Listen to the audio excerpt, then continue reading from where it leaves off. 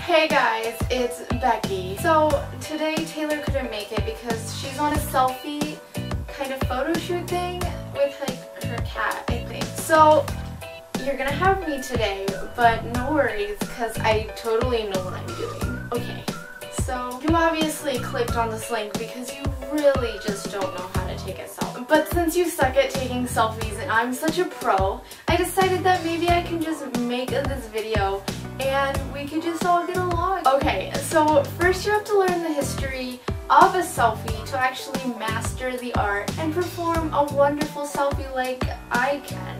So I'm here to tell you that you're in luck because that's exactly what I'm going to do today. Okay, so the art of self-photography is often called a selfie. The selfie was created in 1470 by our great and powerful leader, Iggy Azalea. And since then, pro selfie takers like myself and the soon-to-be you have gone to this worship ceremony every week called a selfie-bration and then we go and put our selfies and put it on a giant statue of our great and powerful leader, Miss Azalea. Okay, so now that you guys worked on your history, it's time to work on form. Okay, first you have to make sure you look hot, but not too hot that it looks like you tried too hard. Let me show you how to do that. Okay, hey guys, it's Becky. So the first rule of taking a selfie is like always make sure it looks natural because if it doesn't look natural then obviously you tried too hard. So let me show you how to do that with makeup. So what we're to use first is called concealer. Dab it underneath your eyes. I don't even need a mirror right now because I'm just so good at taking selfies and applying makeup. Like put it all over your face and then you just kind of like rub it in like just all over your face and it's just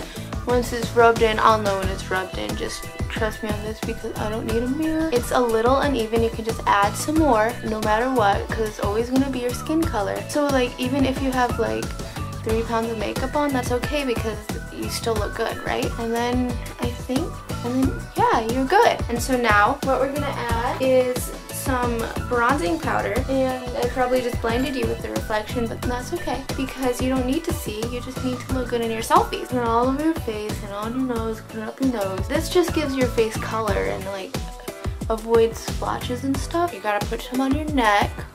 That'll make it look even so it, your face just doesn't look like Pardoop Baloopa because yeah. And the last thing we're gonna add is some regular lighter colored powder. And this is just gonna like take out some of the color from the bronzer. Then you won't look like you're like Abraham Lincoln on the penny. Then we're just gonna like put some all over. Everywhere you put bronzer, you gotta put this powder. As soon as it, if, if eh, eh, it gets in your mouth, that's okay because inner beauty is outer beauty. Just put some on your neck and your face is gorgeous.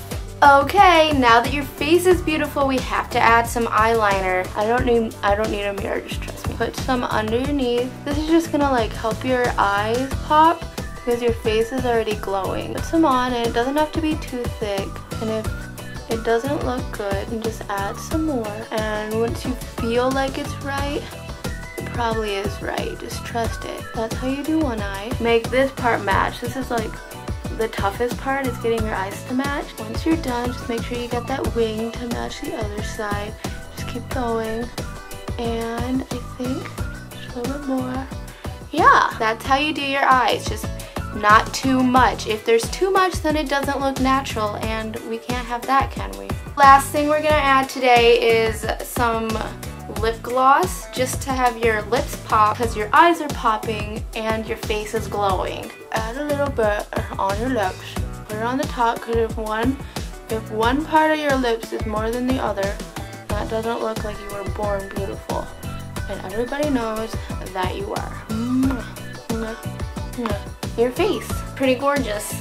You're gonna love it. Okay, now that you have your makeup done really well, you have to move on to your hair, make it look just as well. So what we do is a top bun because the top bun does not look like you tried too hard, like you're trying to go to prom while you're taking your selfie.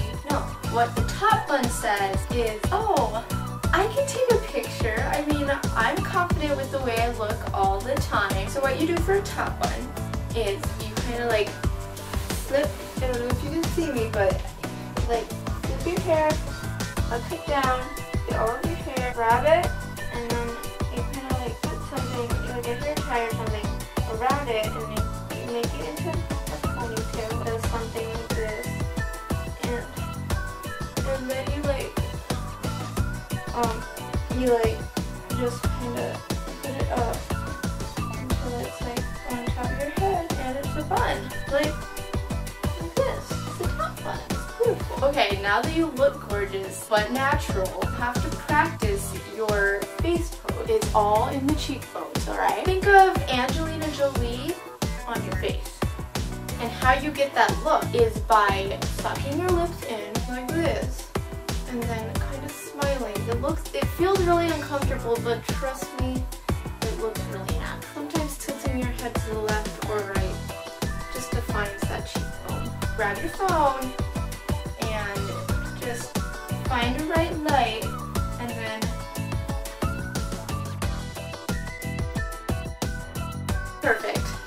I know you guys are doing wonderfully. So that's it. Thanks for watching and you go take a selfie. I'll see you guys at worship next week. Love Iggy Azalea. Always. See ya.